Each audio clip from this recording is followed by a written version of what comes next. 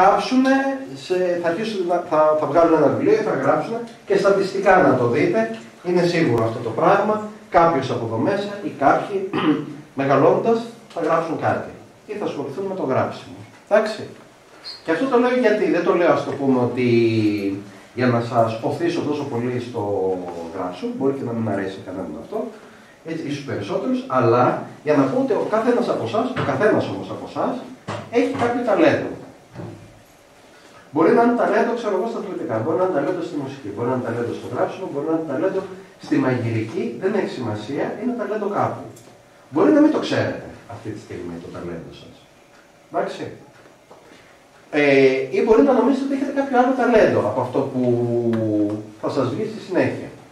Το σίγουρο είναι ότι έχετε κάτι, μία κλίση, ένα χάρισμα, από τη στιγμή που θα το καταλάβετε αργά ή γρήγορα, εγώ κατά κάποιο τρόπο αυτό με το οποίο ενδιαφέρομαι, δεν ξέρω αν το κατάλαβα νωρίς, τώρα στα 26-27, δεν ξέρω αν θεωρείται νωρίς ή αργά. Τέλος πάντων, ε, είναι ευτυχία άμα το καταλαβαίνει κάποιος και πρέπει να το κυνηγήσει από εκεί και πέρα. Δηλαδή, είναι αμαρτία να μην κυνηγάς το ταλέντο σου ή το χάρισμά σου. Ε, για να συνεχίσω τώρα θα είναι λιγάκι ξεκάρφωτη η συζήτηση, γιατί θέλω να πιάσω λιγάκι και τα άτομα που ήταν την προηγούμενη φορά.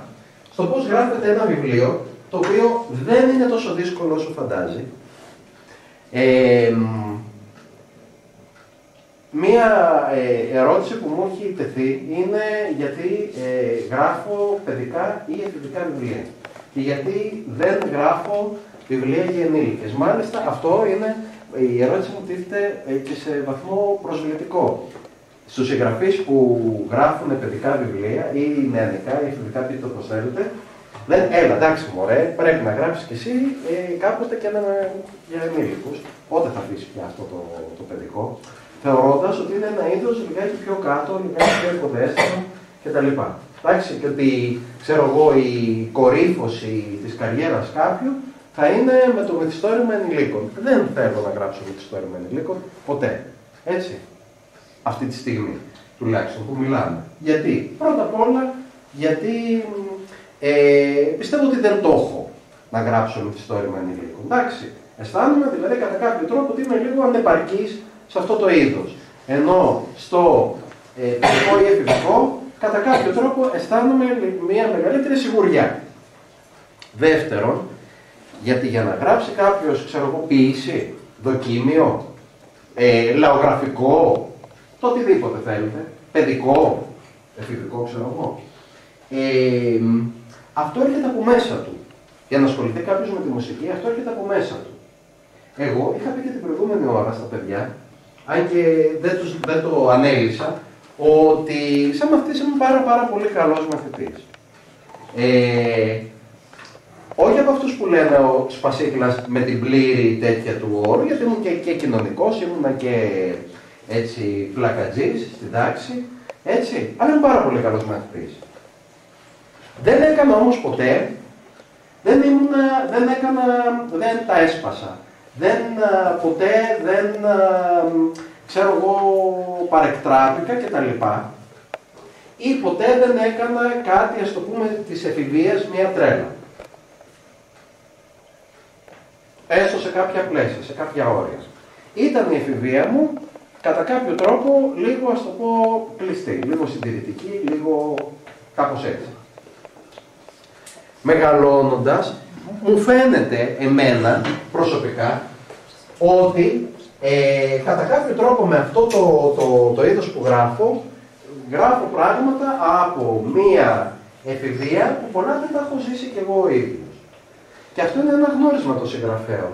Τους συγγραφείς τους, τους βρίσκεις μέσα από τα βιβλία τους, μπορείς να, να, να βρεις και να διακρίνεις πράγματα για τους συγγραφείς μέσα από τα βιβλία τους και το χαρακτήρα τους, μέσα από τα βιβλία τους, όχι μέσα από τον ήρωα όπως τον πλάθουν με αυτά τα χαρακτηριστικά. Δηλαδή, συγγνώμη, δεν το είπα καλά.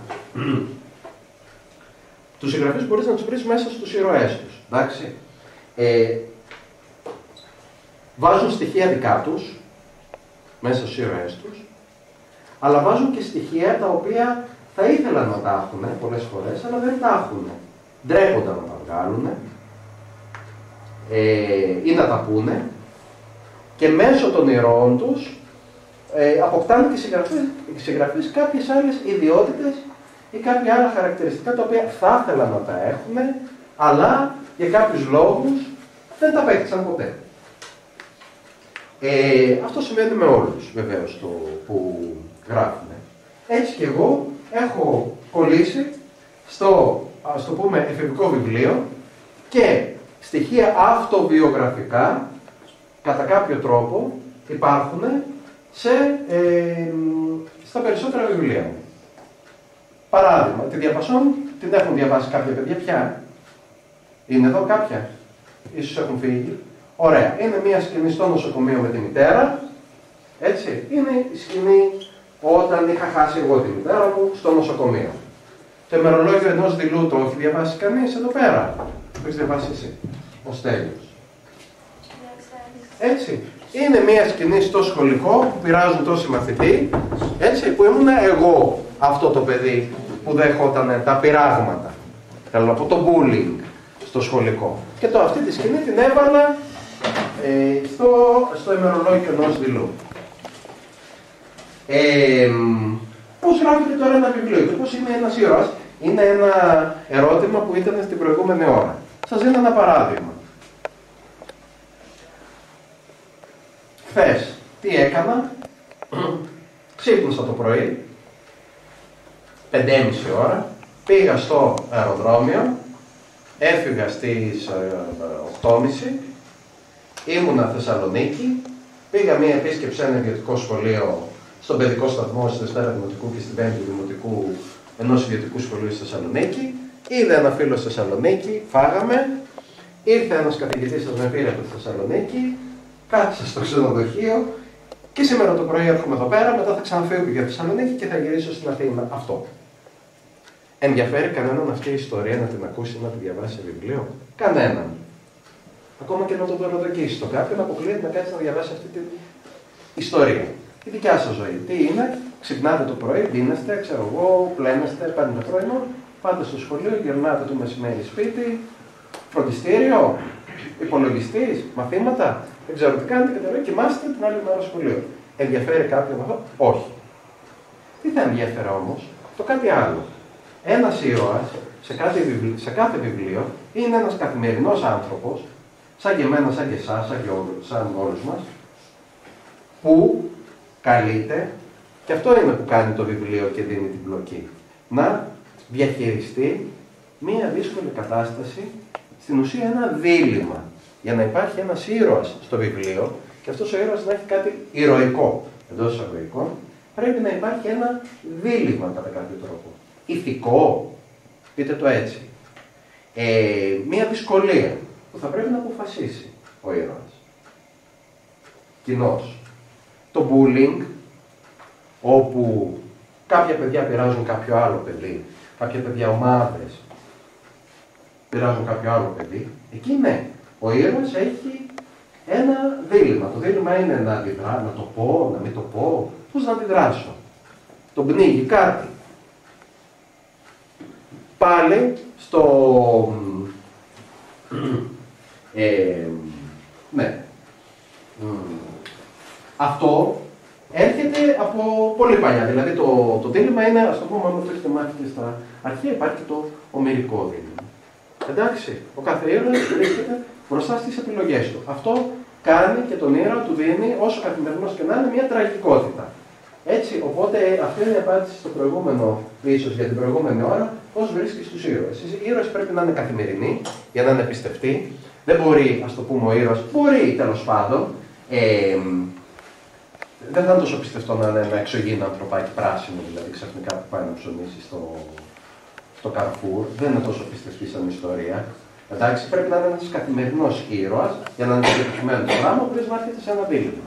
Τώρα το πώς γράφω το μυθιστόρημα, επειδή το είναι συνέχεια, τώρα προσπαθώ το δύσκολο να συνδυάσω την προηγούμενη ώρα τους παλιούς εντός εισαγωγικών με τους καινούριους και να έρθουν κάποιε ερωτήσεις.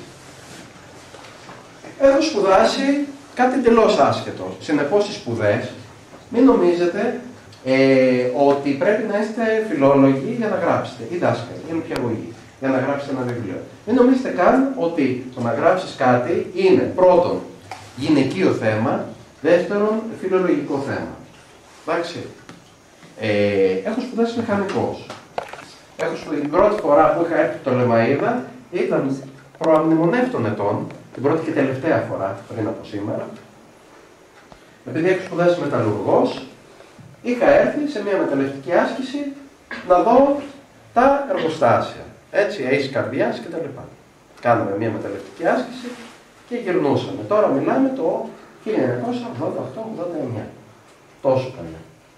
Το επάγγελμα αυτό του μεταλλουργού και του χημικού μηχανικού δεν το έκανα ποτέ στη ζωή μου. Το έκανα μία φορά, μία μέρα στη ζωή μου. Ε, όταν είδα πως είναι, επειδή ήθελα να ξέρω κάτι σαν μπλασχέ, να, ε, να διαφημίζεις βάνες και ξέρω εγώ λάστιχα και τέτοια πράγματα, λέω αυτός σπούδασα. Διαφημίζω βάνες και λάστιχα και τα λοιπά, να πηγαίνω από ε, πόρτα σε πόρτα και αυτό δεν μου αρέσει. Το παράτησε. Λοιπόν, δεν πήγε όμως καθόλου άχρηστο. Οι σπουδές. Δεν πήγαν καθόλου άχρηστες σπουδές. Γιατί; Γιατί γράφω σαν μηχανικός. Άμα είχα σπουδάσει φιλόλογος, θα έγραφα εντελώς διαφορετικά. Άμα είχα σπουδάσει, ξέρω εγώ, ό,τι θέλετε, σκεφτείτε μια άλλη ειδικότητα, εντελώς διαφορετικά. Πώς γράφουμε μηχανική. Έτσι. Είμαι εδώ, είναι εδώ η αρχή του βιβλίου μου. Αρχή. Πρέπει βασικά να ξέρω την αρχή και το τέλος. Τέλος. Αυτή η ζωγραφική είναι ό,τι μπορώ σε ζωγραφική. Θέλω να πω ότι από την πρώτη δημοτικού είναι ένας τομέας που δεν εξελίχθηκα καθόλου. Αυτό είναι ό,τι καλύτερο μπορώ. Τα προϊστορικά ανθρωπάκια. Εντάξει. Λοιπόν. Είμαι στην αρχή, θέλω να πάω στο τέλος. Πρέπει να ξέρω, πρέπει να ξέρω εγώ μέσα μου την αρχή και το τέλος κάθε βιβλίου. Χωρίς να τα ξέρω, δεν είμαι από αυτούς που λένε ε, θα ανοίξω τον υπολογιστή και όπου με πάει το μυθιστόρημα και θα βυθιστώ στο ταξίδι που τις σελίδες, στο καράβι και πάλι. Καμία σχέση. Εντάξει, πρέπει να ξέρω συγκεκριμένα. Γι' αυτό λέω ότι γράφω σαν μηχανικός και μετά τι κάνω. Κατά το μέσο του βιβλίου βάζω ένα υποστήλωμα. Εντάξει, μια κολόνα. Σαν γεφύρι φανταστείτε το. Άμα ήθελα να πάω από εδώ εδώ πέρα, ό,τι σκηνή και θα να πετούσα, σκηνή, σκηνή έτσι είναι η ιστορία, θα μου πέφτει κάτω. Βάζω ένα υποστήρωμα στο 50% πάνω κάτω, όταν λέμε 50% του βιβλίου, να γίνεται κάτι κοινώς ε, σημαντικό στο βιβλίο. Εντάξει, κάτι πολύ σημαντικό, που ενδεχομένως να αλλάζει και την τροπή του βιβλίου. Και μετά αρχίζω και βάζω υποστηλώματα, εδώ στο 25% και στο 75%. Όσο περισσότερα υποστηλώματα έχω στο βιβλίο, τόσο καλύτερα. Η διαπασόνια είναι 33 κεφάλαια, 33 τραγούδια, είναι 33 υποστηλώματα. Οπότε, δηλαδή, άμα βρω εδώ πέρα και το γεννήσω, εντάξει, θα είναι πολύ πιο εύκολο για αυτό το ανθρωπάκι να πεταχθεί από εδώ, εδώ, εδώ, εδώ, μέχρι να φτάσει στο τέλος. Εντάξει, αυτό είναι ένας τυπικός. Δεν το είχα συνειδητοποιήσει μέχρι που είδα και, άλλον έναν μηχανικό που μου λέει έτσι κάπως, ο ίδιος να μου αρχίζει την πρώτα και να μου λέει έτσι κάπως γράφω. Εγώ που λέω είναι του, μηχανικού το τέτοιο αυτό το πράγμα. Εντάξει, έτσι γράφω και ε, όπως είπα και την προηγούμενη ώρα δεν τα διαβάζω ποτέ μετά. Παρά μόνο άμα μου το επιβάλλουν, πρέπει να διορθώσω το βιβλίο, το οποίο έχει άπειρα Μηχανική υποστήριξη. Το οποίο έχει άπειρα λάθη και να μου πούνε πρέπει να, πρέπει να διορθώσει το βιβλίο που συνήθως βαριέμαι. Να το ξαναδιαβάσεις και να το ξαναδείς τις διορθώσεις που κάναμε. Το οποίο το βιβλίο ε, το, που το δίνω, ας το πούμε σε, σε χειρόγραφο, το εκτυπώνουν μάλλον, είναι κατακόκκινο άμα το πιάσουν να το διορθώσουν. Κατακόκκινο είναι, γιατί δεν δίνω σημασία. Λέω, άλλο επάγγελμα είναι το επιμελητή, Α πει του φάω το ψωμί του ανθρώπου. Εντάξει. Οπότε δίνει και καταλαβαίνεις τα λάθη. Γράφεται με στυλό, δηλαδή. Όχι, όχι, όχι, στον υπολογιστή. Αλλά γίνεται τόσο σε χρόνους, σε τέτοιες, σε άλλο ήθελα να πω, μου ήρθε ξαφνικά μια άλλη σκέψη και τον μπλέκω μέσα. Αλλά γράφω αυθόρμητα. Δεν κάθομαι ούτε να. Α, στην ουσία δεν θα έλεγα ότι ε, αυτό που κάνω τώρα, αυτό είναι μια μεγάλη κουβέντα. Ε, θα έλεγα ότι αφηγούμε ιστορίες. Storytelling δεν θα έλεγα ότι είναι λογοτεχνία. Με την έννοια ότι δεν παιδεύω την κάθε λέξη να κάτσω ώρες αν θα είναι η λέξη φρανία, αν θα είναι η λέξη τραπέζι, αν θα είναι η λέξη καρέκλα, αν θα είναι η λέξη κάθισμα, γιατί Υπάρχουν άλλοι που το κάνουν και το σέβομαι αυτό το πράγμα. Δεν μπορώ να το κάνω εγώ. Γιατί, Γιατί το, ε, το βιβλίο για μένα είναι, εκφράζει μια συγκεκριμένη ψυχική κατάσταση. Έχω τώρα την ανάγκη, θέλω να πω μια ιστορία, γιατί, γιατί ε, έχω, είμαι στενοχωρημένο, είμαι αγχωμένος, είμαι το οτιδήποτε. Έτσι. Και θέλω να κάτσω να πω αυτή την ιστορία. Ε, με βοηθάει το βιβλίο. Είναι σαν ψυχοθεραπεία. Πώς να το πω. Τελειώνω. Τελείωσε αυτή η φάση. Δεν έχω ε, κανένα λόγο, λέω εγώ, να το, να το ξαναπιάσω. Κάθε βιβλίο για μένα είναι μια συγκεκριμένη φάση της ζωής μου. Α, να σας διακόψω λίγο πάνω ναι, σε αυτό. Ναι, ωραία, γιατί θα έλεγα και εγώ τώρα. Είπατε ότι δεν ξαναδιαβάζετε το βιβλίο σας. Ναι. Ε, Έχω διαβάσει κάποια τώρα για να είμαι ειλικρινής. Ε, αυτό μπορώ να το καταλάβω εν μέρη. Mm. Αλλά γράψετε ένα κεφάλαιο, ένα υποστήλωμα όπως το λέτε. Αυτό, ναι, αυτό, να σας πω. Ξαναγυρνάτε πίσω να το διαβάσετε και να το ναι. ξαναδιαβάσετε για να δείτε τέλος πάντων αν Διαβάζω. Ναι, δηλαδή, ε, όχι. Απλά άμα είμαι ξέρω εγώ στο κεφάλαιο 15, θα διαβάσω το κεφάλαιο 13 και 14 για να πιάσω την αλληλουχία των χρόνων και τους πρωταγωνιστές, να μην είμαι εκτός ιστορίας. Ο προβληματισμός μου είναι ο εξής. Ξεκινήσατε με το ανθρωπάκι σας. Το βάλατε στην αρχή. Έχετε τα υποστηλώματά σας στη συνέχεια. Ε, πρέπει να έχετε πάρα πολύ καλή μνήμη και να ξέρετε πολύ καλά αυτό που γράφετε για να μην ξαναγυρνάτε να συνδέσετε τα ε, προηγούμενα με το επόμενο. Ε... Γιατί είναι πάρα πολύ δύσκολο αυτό το πράγμα. Πάρτε τα γράφει, γι' αυτό λέω: Αν αρχίσετε να γράφετε, μην πάρετε εμένα σαν παράδειγμα. Εντάξει, μάλλον σαν αντιπαράδειγμα να μου πάρετε. Έτσι, σαν παράδειγμα προς αποφυγή. Γιατί, ε, γιατί εγώ ένα, ένα βιβλίο το στρώνω πρώτα στο μυαλό μου. Μπορεί μια ιδέα να μου. Δηλαδή, τώρα έχω μια ιδέα 10 ετών παλιά. Δεν ξέρω πώς να τη συνεχίσω. Βρίσκω κάποιο στοιχείο, είναι σαν ένα puzzle. Βρίσκω κάποιο στοιχείο, το βάζω στο puzzle, το βάζω σε ένα, σε ένα ε, ξέρω, σιρτάρι του κομμωδίου, του μυαλού. Εντάξει. Μέχρι να βρω κι άλλο κομματάκι από το puzzle, κάποιους μήνες μετά, πώς θα το βρω αυτό το κομματάκι, να δω κάτι στον δρόμο που να με οθήσει να σκεφτώ κάτι παραπάνω σε αυτό το, το πράγμα. Μπορεί και να μην δω ποτέ να υπάρχουν ε, ημιτελή puzzle, μισοτελειωμένα puzzle από τη στιγμή που θα τελειώσει αυτό το πράγμα, η ψηφίδα, ψηφίδα, ψηφίδα, στο μυαλό μου, τότε μόνο, μπορεί να κρατήσει και χρόνια. τότε μόνο θα ξεκινήσω να γράψω το βιβλίο, αλλά θα το γράψω πάρα πολύ γρήγορα. Πάρα πολύ γρήγορα. Δηλαδή, ε, ε, κάθε κεφάλαιο ε, στην ουσία είναι, ξέρω εγώ, να το γράψω τρία τέταρτα της ώρας. Μισή ώρα, με τρία τέταρτα η διαπασόν έχει 33-34 κεφάλαια, ε, είναι γύρω στις 16 ώρες. Έτσι. 30 μέρες, μισή ώρα τη μέρα. Είναι και λίγο, ε, πώς το λένε, δεν είμαι και σηκώνομαι το πρωί, κάθομαι και γράφω, όποτε θελήσω. Εντάξει. Υπάρχει τυπικότητα, δηλαδή καμία. Ε, κάθε βράδυ, 10 καμία. Όχι, όχι. Υπάρχει μια τυπικότητα στο μυαλό μου και τη στιγμή που θα αρχίσω ένα βιβλίο, δεν θέλω να το διακόψω, να το πιάσω μετά από μήνες, γιατί θα βγω από τη διάθεση. Εντάξει, για μένα δηλαδή το, το, το, κλειδί είναι η διάθεση που θα έχω. Έτσι και εγώ από τη διάθεση που έχω βγει κάποιες φορές, έχω παρατήσει βιβλίο στη μέση, μετά δεν μπορώ να το, ξανα, να το ξαναπιάσω γιατί έχω φύγει εντελώς από, αυτό από αυτόν τον τρόπο σκέψης. Εντάξει. Οπότε μέσα σε αυτό το μικρό χρονικό διάστημα η μνήμη ευτυχώς λειτουργεί καλά και δεν έχω αντιμετωπίσει δυσκολίες. Ε, πάμε όμως σε ερωτήσεις να υπάρχουν και κάντε ό,τι ερωτήσεις θέλετε τα παιδιά. Με κοιτάτε και ειδικά αυτή που ήταν την προηγούμενη ώρα. Α, όχι, ένας καινούριος. Έλα. Είχατε πει ότι γράφετε στα 25 με 26 ετών να ανακαλύψετε το ταλέντο σας. Φοβερό ταλέντο. Ξυπνήσατε μια μέρα το πρωί, δηλαδή και είπατε να Έχω ταλέντο. Ελλάδα έχεις ταλέντο. Βασίλη έχεις ταλέντο. Ε, το είχα πει την προηγούμενη ώρα γι' αυτό. Ε, ότι. Ε, εντάξει, ήξερα ότι ήμουν καλός σε εκθέσει, αλλά αυτό δεν λέει τίποτα γιατί πάρα πολλά άτομα είναι καλά σε εκθέσει. Και μέχρι εκεί τελεία. Εντάξει. Είχα πει ότι στην ουσία ε, ξεκίνησε το πράγμα λιγάκι τρελά από μένα. Ένα καλοκαίρι που βαριόμουν αφού είχα α, απολυθεί από το ναυτικό, ξεκίνησα να γράψω κάποιες σκέψεις οι οποίες εξελίχθηκαν σε ένα διήγημα και σε ένα μυθιστόρημα. Και όταν μου το απέρριψαν οι πάντες, αυτό το μυθιστόρημα που νόμιζα εγώ ότι ήταν ό,τι καλύτερο είχε γραφτεί από τον Όμηρο και μετά τουλάχιστον, γιατί πριν τον Όμηρο δεν υπήρχε καν η γραφή. Εντάξει.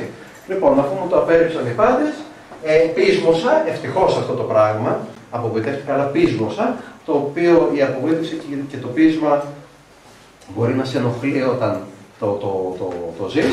Μετά εκ των υστέρων καταλαβαίνεις ότι είναι ένα πολύ σημαντικό στοιχείο. Γιατί μπορεί ή να σε κόψει εντελώς ή να σου δώσει ένα σπρώξιμο, μια όθηση. Εμένα μου έδωσε σε αυτό το σημείο μια όθηση. Σε άλλο με έχει, με έχει κρατήσει. Αλλά σε αυτό μου, μου έδωσε μια όθηση. Και α, ε, ήθελα, ντε και καλά, λέω όχι, δεν θα του γίνει, τώρα το δικό μου. Εδώ, θα γράψω οπωσδήποτε κάτι καλό, κάτι θα, θα αυτός σου. Θα διακριθώ σε αυτό το πράγμα. Μετά, και θέλω να σας πω και το εξής. Και τώρα θέλω να το δέσω και με ένα βιβλίο. Με το ημερολόγιο ενός δηλού που μιλάει για το bullying και μου είπε η συνάδελφος ότι ασχολείστε με μια ομάδα. Ε, μ, πέρασα από πολλά στάδια ε, α- α- από όταν ξεκίνησα μέχρι όταν α, μέχρι τώρα συναισθηματικά σε σχέση με αυτό που κάνω. Τι σημαίνει αυτό; Πολλές φορές, εκεί κατά το 2004, είχα βγάλει εγώ ένα βιβλίο, οι εννέα Κέσσαρες. Είχε βγει τότε με τους Ολυμπιακούς ένα άλλο βιβλίο, ο Αλκιβιάδης, στην χώρα των Ολυμπιακών, από τον ίδιο τον εκδοτικό και τον Καστανιώτη. Μου λένε, Α, το βιβλίο σε 9 Κέσσαρες είναι εκπληκτικό. Λέω το άλλο γιατί βγήκαν την ίδια ακριβώς περίοδο. Να πει 9 Κέσσαρες. Εντάξει, λοιπόν αυτό το βιβλίο έχει μείνει με το ίδιο εξώφυλλο από το 2004. Τέλος. Λοιπόν, και με ένα άλλο βιβλίο, ο Αλκιβιάδης και οι Ολυμπιακοί Αγώνες. Λέω το άλλο το βιβλίο που βγήκε. Χαζομάτι. Γιατί το βγάζετε; Ε, εντάξει, Ολυμπιακοί Αγώνες. Είναι και ο Μουρατίδης, ο Νίκος Μουρατίδης που ήταν στην τηλεόραση και αυτό. Είναι και ο Μουρατίδης, δεν μπορούσαμε να του πούμε όχι κτλ. Ε, λέω εντάξει. Παπαθεοδόρου Μουρατίδης, σημειώσατε ένα. Πάω μετά και βλέπω στα βιβλιοπολία στην Αθήνα φωτογραφία του Αλκιβιάδη έτσι ένα τέτοιο πράγμα το τριπλό από αυτό, φωτογραφία του Μουρατίδη κτλ. Οι εννέα Κέσσαρες χωμένοι σε μία γωνία κάτω-κάτω ράφι. Το, το υπέροχο αυτό βιβλίο είχε χωθεί σε κάτω-κάτω από το ράφι.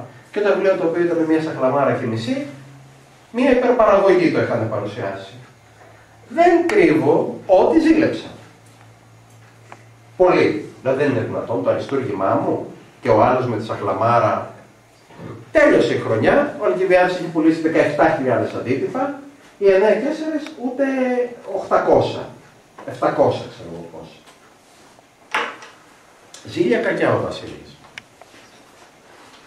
Μέχρι που κατάλαβα ότι με αυτό το πράγμα δεν πάω πουθενά. Γιατί; Γιατί αποκλείεται να με κάνει εμένα καλύτερο. Να, αυτό που κάνω να το κάνει καλύτερο. Αποκλείεται όσο και να ζηλέψω, αποκλείεται να φτάσω εγώ να πουλήσω σε κάποιους μήνες 17.000 αντίτυπα. Εντάξει, ήταν και οι Ολυμπιακοί αγώνες, δεν, δεν θα διαφωνήσω. Εντάξει. Αλλά αυτό ήταν, έβαζα εγώ τον εαυτό μου σε μία, α, πώς να το πω, όχι υπόθεση, σε μία θέση όπου θα ήμουν εγώ ο χαμένος. Αλλά πότε άρχισα να το καταπολεμώ αυτό, είναι πολύ φυσιολογικό για έναν άνθρωπο να έχει όλων των ειδών τα συναισθήματα για μένα. Έτσι, όχι μόνο τα θετικά, έχουμε και τα αρνητικά. Εντάξει, δηλαδή μπορεί να ζηλεύουμε, μπορεί να είμαστε κακοί με κάποιον. Από τη στιγμή που θα αναγνωρίσουμε στον εαυτό μας ότι έχουμε αυτό το αρνητικό συνέστημα, εγώ τη ζήλια, προσωπικά εκείνη τη στιγμή, είναι το μεγάλο βήμα για να το καταπολεμήσουμε. Και το αρνήθηκα. Δεν έδωσα κανένα άλλο στον εαυτό μου, γιατί έδινα άλλο πριν. Έλεγα ότι ο, ε, με αδίκησε ο εκδοτικός οίκος, ε, με αδίκησε το αναγνωστικό κοινό, όλοι, όλοι με αδίκησαν και εγώ είμαι ο ρηγμένος. Όχι. Μεγάλο λάθος. Ήταν καθαρή ζήλια δικιά μου. Από τη στιγμή που το αναγνώρισα αυτό σαν ελάττωμα δικό μου, τότε το καταπολέμησα. Όσο δεν το αναγνώριζα, έψαχνα να δω ποιος είναι ο ένοχος. Εντάξει, και δεν τον έβρισκα και ο ένοχος ήμουν εγώ σε αυτό το πράγμα. Και για να το ενώσω με το bullying, το οποίο είναι ένα βιβλίο, το οποίο αυτό εδώ το ημερολόγιο ενός βιβλίου, το τελευταίο βιβλίο. Την άλλη εβδομάδα, 6 του μηνός, 6 Μαρτίου, είναι η Παγκόσμια Μέρα κατά του ψυχολογικού εκφοβισμού. Εδώ πέρα, από ό,τι ρώτησα και έμαθα, δεν υπάρχει κανένα κρούσμα. Φαντάζομαι στη μορφή που περιγράφεται στο βιβλίο. Τουλάχιστον. Δεν μιλάμε για πειραγματάκια. Δεν είναι αυτά bullying. Εντάξει. Μπορεί κάποιος να πει τι είναι, τι στοιχεία πρέπει να έχει ένα bullying; Δεν, μπορεί, δεν πρέπει να έχει ένα μόνο στοιχείο. Μπορούν να μιλήσουν τα παιδιά. Τα παιδιά θα μιλήσουν, όχι μόνο εγώ. Δεν είναι διάσταση καθόλου δικό μα. Ευαγγελία. Όχι, όχι, όχι, όχι, τώρα. Ναι. Προσβολές σε σχέση με το προγένειά του, ε, με το σώμα του, ε, με το χαρακτήρα του. Ε, αυτό πιστεύω. Δηλαδή, αν έρθω και σου πω εγώ τώρα, ο πατέρας είναι ένας μέθησος και το ακούσουν όλα τα άλλα παιδιά και φύγω και δεν με ξαναδείς, φεύγω. Αυτό είναι bullying. Άμα το συνεχίσει να το κάνει, να το Άρα το πρώτο στοιχείο είναι κάνει. η επαναληψιμότητα, η επανάληψη. Πρέπει κάτι να γίνεται διαρκώς. Έτσι. Δεύτερο στοιχείο, είναι αρκετά τα στοιχεία που το συνθέτουν αυτό το πράγμα. Όχι, όχι ο ίδιος, άμα έχεις να πεις. Άμα, έλα. Ας πούμε, άμα είναι από μια ξένη χώρα, Μμμ. ε, τον κορυδεύουν από εκεί που είναι. Ποιοι το κοροϊδεύουν, αυτά είναι τα χαρακτηριστικά, πώς εκδηλώνεται. Πώς εκδηλώνεται. Έτσι. Ποια είναι τα πέντε, ε, δηλαδή, για να είμαι- δεν είμαι καθόλου σαφής. Ποια είναι τα πέντε, χαρα- τα πέντε. Ποια είναι τα χαρακτηριστικά που ξεχωρίζουν το bullying από αυτό που λέμε πείραγμα, πλάκα, καζούρα. Δεν είναι το ίδιο πράγμα. Α, μπορώ να πω εγώ, μπορεί να πεις εσύ μου κάνεις bullying. Εγώ να πω όχι. Σου κάνω πλάκα. Γιατί το βλέπεις έτσι. Κάτσε, έλα. Ε, ότι Στέλιο. είναι υπερβολικό. Ότι ας πούμε... Το υπερβολικό βεβαίως το ορίζει ο καθένας όπως θέλει. Έτσι. Ε, η διαφορά του bullying από την πλάκα νομίζω ότι είναι ότι στην πλάκα και τα δύο μέλη γελάνε. Στο bullying, ωραία. Ωραία. Παίρνει πιο, πολύ, πιο μεγάλη διαστάση το bullying από ότι, ε, από ότι την πλάκα. Και τα παιδιά ας πούμε, που κάνουν πλάκα, ο ένας έχει καλή διάθεση στον άλλον, ενώ όταν γίνεται bullying, η ομάδα αυτή έχει πολύ μεγάλο μίσος. Άρα το δεύτερο στοιχείο, έτσι, ή κάποιο θέλει εδώ, μου φαίνεται. ε, όχι. Ε, υπάρχει, ωραία. Λοιπόν, το ένα δεύτερο στοιχείο τέλος πάντων είναι ότι αυτός που το ασκεί, έτσι, είναι από θέσεις ισχύως. Είναι ο δυνατός της υπόθεσης. Και ο άλλος, ακόμα και να θέλει να αντιδράσει ή να θέλει να αποδράσει, πες ότι το βάζει στα πόδια. Πες ότι το λέει στην καθηγήτρια. Θα έχει συνέπειες από το θήτη μετά. δηλαδή, είναι χαμένος το θύμα ούτως ή άλλως. Το βλέπεις στο μυαλό του, ό,τι και να κάνει. Ε, έστω ότι το βάζει στα πόδια, μετά θα τον βρούνε την άλλη μέρα και θα το συνεχίσει το έβαλε στα πόδια κότα. Θα συνεχίσουν σε άλλο ρυθμό. Άρα, ο θήτης είναι σε σχέση, ε, είναι σε θέση δύναμης και ισχύως και ο άλλος είναι σε μια θέση πλήρους αδυναμίας. Εντάξει. Μετά είναι το στοιχείο, πέρα από την επανάληψη που είπαμε, είναι το στοιχείο ότι σκόπιμα γίνονται αυτά τα πράγματα, πλάκα δεν γίνεται σκόπιμα. Έτσι, μα τις περισσότερες φορές, έλα, σου είπα- σου είπα ένα αστείο. Μπορεί να γίνει και αυθόρμητα. Γίνεται, είναι κακοπροέ, ε, κάτι κακοπροαίρετο που γίνεται σκόπιμα και με σκοπό, σκόπιμα με τι σκοπό, με σκοπό να βλάψει, γιατί υπάρχει σκοπός σε αυτό το πράγμα, να βλάψει σωματικά, ψυχικά, ε, ψυχολογικά, κοινωνικά, ό,τι, οικονομικά, ό,τι θέλετε, το θύμα. Εντάξει. Λοιπόν, α, αυτά είναι κυρίως τα στοιχεία του πολίτη. Δεν ξέρω αν διαφωνείτε, πώς τα έχετε... Έτσι ακριβώ. Εγώ έχω ε, στι συναντήσει που έκανα με την ομάδα, βέβαια είναι λίγα τα παιδιά που συμμετέχουν στην ομάδα, είναι άλλη ομάδα. Έχουμε αναλύσει το φαινόμενο, έχουμε δει τις παραμέτρους ήδη στι συναντήσεις μας. Έχουμε ορίσει τι είναι εκφοβισμός και έχουμε ξεχωρίσει ακριβώς αυτό, ότι ο θήτη, μάλλον ότι το bullying είναι αυτό. Ο εκφοβισμός είναι ο θήτη να είναι σε μια θέση ισχύως ε, και το θύμα να μην μπορεί να αντιδράσει. Η επανάληψη. Όλα αυτά δηλαδή. Να επαναλαμβάνεται συνεχώς. Και βεβαίως, προφανώς, πρέπει να υπάρχει και θύμα. Εντάξει, το bullying δικαιολογείται δεν μπορεί να είναι ο θήτης μόνος του. Πρέπει κάποιος να έχει αναλάβει, χωρίς να το θέλει καν, τον ρόλο του θύματος. Bullying δεν γίνεται μόνος στο σχολείο. Bullying μπορεί να γίνει. Συγγνώμη. Ή μεταξύ σας. Όχι στο σχολείο. Στη γειτονιά, δεν ξέρω, όπου θέλετε, πείτε το τώρα, οπουδήποτε. Όπου βγαίνετε, δεν ξέρω. Στο φροντιστήρι. Μπορεί να γίνεται στην οικογένεια. Μπορεί να γίνεται στον επαγγελματικό χώρο. Μπορεί να γίνεται με το φίλο σας.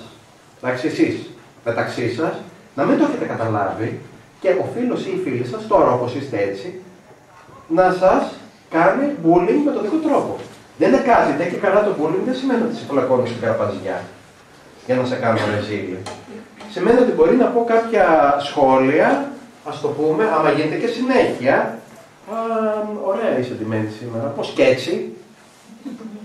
Να το καταλάβουμε. Να μην αρχίσουμε να γελάμε. Εντάξει. Δεν σου πάνε τα μαλλιά σου σήμερα, εντάξει. Ε, κάτι τέτοιο. Άμα γίνεται αυτό συνέχεια και συνέχεια και συνέχεια, ο άλλος από ένα σημείο και μετά και να λέει ότι ε, είναι φίλος μου, το είπε καλοπροαίρετα για να με προσέξει, είναι φίλο μου και αυτό. Όχι, πέφτει ο άλλος. Πέφτει. Και αποκτά δύναμη αυτός που κάνει αυτά τα σχόλια. Εντάξει. Σε σχέση με τις αντιδράσεις των άλλων έχουμε κάτι να πούμε; Δηλαδή υπάρχει ο θήτης και το θύμα υπάρχουν. Πώς αντιδρούσατε και εσείς πρόσωπα τα οποία δεν αντιδρούν ή αντιδρούν στον εκφοβισμό; Δεν ξέρω, ας το. Ναι. Να πω. Και να πούμε και τα παιδιά, κοιτάξτε, λοιπόν, συγγνώμη, παιδιά, δεν θέλω να γίνει τριγωνική συζήτηση ένας, δύο, τρεις, προφανώς. Εντάξει. Απλά εγώ θέτω μόνο το όρο, εμείς έχουμε ορίσει, υπάρχει ε, πέρα από τον θήτη και το θύμα ο ρόλος του παρατηρητή. Α πούμε τώρα τα παιδιά για να μην θέσω όλο το θέμα. Ωραία, μια υποθετική ερώτηση. Τώρα εγώ αρχίζω και πλακώνω, είμαι πλακώνει, ο Απόστολος, εντάξει, γιατί είναι και σωματώτης αρκετά για πρώτη γυμνασία, σε καθημερινή βάση, αρχίζουν τέτοια πράγματα. Εντάξει. Και το βλέπετε, ας το πούμε, ή βλέπετε κάποιον συμμαθητή, κάποια συμμαθήτρια που μαραζώνει. Πρώτα απ' όλα, συγγνώμη, ας πούμε κάτι άλλο. Πέρα από το ρόλο του παρατηρητή. Ο θήτης γιατί το κάνει αυτό το πράγμα; Υπάρχουν πολλές εξηγήσεις γιατί το κάνει. Πάμε. Για να ανέβει ως άτομο και να το συμπαθήσουν ε, μερικοί. Ε, αυτό. Το κρατάμε, στέλνω. Προσωπική ευχαρίστηση. Το κρατάμε, Αίσθημα ζήλια, γιατί ο κάθε άλλος μπορεί να έχει κάτι το πέρασμα. όλα τα κρατάμε. Επειδή ο ίδιο μπορεί να έχει κάποια προβλήματα και δεν να τα κρύψει. Ωραία, άλλος, Γιατί μπορεί να αντιπαθεί εκείνο το παιδί και να θέλει να το μειώσει. άλλος; Μπορεί πέρα να είχαν έχθρα και να θέλει να το πάει να το πάρει κρύψη. Λοιπόν, η, ειδικά γι' αυτό η εκδίκηση είναι once. Πιστεύω. Έτσι, δηλαδή του κάνεις, ξέρω εγώ, του... τον σπρώχνεις, πέφτει κάτω, αυτό γίνεται ρεζίλ, τελείωσε. Δεν πήρα την εκδίκηση. Εντάξει, τώρα κάθε μέρα να τον περιμένεις έξω από το σπίτι να τον... α, Εκεί έχω μια τέτοια, μια... Δεν ξέρω, δεν ξέρω. Εγώ πιστεύω το εξής. Πρώτον, ο, ο θήτης είναι ένα εξαιρετικά γοητευτικό άτομο. Εξαιρετικά γοητευτικό άτομο. Όταν λέμε γοητευτικό δεν λέμε όμορφος ή όμορφη. Δημοφιλές άτομο. Έτσι. Όλοι θέλουν να είναι φίλοι με το θήτη. Ασκεί μια περίεργη μαγεία σε όλους, ανεξήγητη, χωρίς να είναι ούτε ίσως ο καλύτερος εδώ, ούτε ο καλύτερος εκεί, ούτε ο καλύτερος παραπέρα. Αλλά όλοι είναι σαν μαγεμένοι. Με τόνι την θήτη. Θήτρια, δεν ξέρω αν υπάρχει κιόλας αυτό το τη λέξη. Ο ή θήτης. Έτσι φαντάζομαι. Λοιπόν, αυτό του δίνει τη δύναμη να έχει αυλή. Αυτό του δίνει τη δύναμη να κάνει αυτά που κάνει για να ευχαριστεί τη αυλή του. Όταν ο θήτης δεν έχει αυλή, πάει να είναι θήτης. Έτσι. Το bullying στην ουσία τρέφεται, τρέφεται τα ζυζάνια τέλος πάντων, τα χωράφια, τα, ζυ- ε, ας το πούμε διάφορα τέτοια φυτά βγαίνουν από τα, τα, τα ζυζάνια τέλος πάντων, τρέφονται από την προσοχή ή τη μη προσοχή που θα δώσει μια άλλη. Εντάξει. Αν τώρα ο Απόστολος έρθει και δώσει μια σφαλιάρα στον Στέλιο και κανείς δεν ασχοληθεί ούτε το κοιτάξει ή κάνει κάποιος ένα τέτοιο πράγμα προς τον Απόστολο, δεν θα το κάνει αύριο. Με το πρώτο χαμογελάκι που θα σκάσει εδώ πέρα, από τον οποιονδήποτε που έφαγε τη σφαλιάρα ο Στέλιος, αυτό θα αρχίσει να επαναλαμβάνεται. Εντάξει. Ο Απόστολος θα νιώθει πιο δυνατός Γιατί έκανα έναν οπαδό μου που χαμογέλασε σήμερα, αύριο μεθαύριο, δύο, τρεις, μετά αυλή, ολόκληρο. Εντάξει, και έτσι φουντώνει το φαινόμενο. Και όλο αυτό το παθητικός παρατηρητής, ο παθητικός παρατηρητής είναι στην ουσία για μένα ενεργητικότατος παρατηρητής. Ενεργητικότατος. Η απάθεια σε αυτό το πράγμα είναι πράξη. Έτσι, είναι από τις λίγες φορές που η απάθεια δεν με ενδιαφέρει, δεν χώνομαι στη μέση, δεν χώνω τη μύτη μου στις δουλειές των άλλων, δεν μπαίνω στα χωράφια του αλλού, είναι πράξη. Είναι πράξη αυτό το πράγμα. Έτσι, γιατί φουντώνει ο άλλος. Ο άλλος για μένα ο θήτης είναι άρρωστη προσωπικότητα. Πέρα από τα προβλήματα που έχει, το σημαντικότερο πρόβλημά του που έχει, ποιο είναι και γιατί ξεσπάει, ας το πούμε, σε ένα άτομο το οποίο είναι λίγο πιο αδύναμο, λέγεται. Ε, δεν είναι δημοφιλής. Ο θήτης είναι πολύ δημοφιλής. Ε, για να ασκήσει bullying σε κάποιον, ας πούμε, δεν το ξέρανε και ασκεί bullying σε κάποιον για να γίνει... Εγώ σε αυτό διαφωνώ. Δεν πάει ένας καινούριο συμμαθητής στο σχολείο, πείτε ότι έρχεται του χρόνου κάποιος καινούριο συμμαθητής. Εντάξει. Και πει, Όχι, τώρα πώς θα γνωριστώ με τους άλλους, ας αρχίσουμε να πλακώνω κάποιο στο ξύλο, θα γίνω η ψυχή της παρέας. Δεν γίνεται έτσι. Μου φαίνεται. Εντάξει. Ε, μπορεί στο παρελθόν να είχε να του είχε σκεφτεί του ίδιου μπουλ και Αυτό είναι κάτι. Αυτό είναι κάτι που μπορεί να του είχε ασκηθεί από την οικογένεια. Αλλά στην ουσία, ο φοιτητής, να το ξέρετε, υπάρχει ένα, ε, μία λέξη στα αγγλικά. Αυτό το έχω ψάξει εγώ, το έχω, το έχω ψάξει.